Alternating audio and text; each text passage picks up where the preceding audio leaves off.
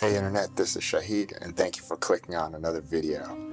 So today's video is about the sorcery of teamwork and output. So I read somewhere that two Belgian draft horses can pull up to 8,000 pounds each. But when they're teamed up, when you put two of them together, they can pull up to 24,000 pounds. And that brings us to output. So when I purchased Output's movement, I was very impressed. I was blown away, right? It was fantastic. It was everything that I wanted. But it wasn't until I started using movement and portal together that I found the uh, combined strength of the two, the sorcery, if you will.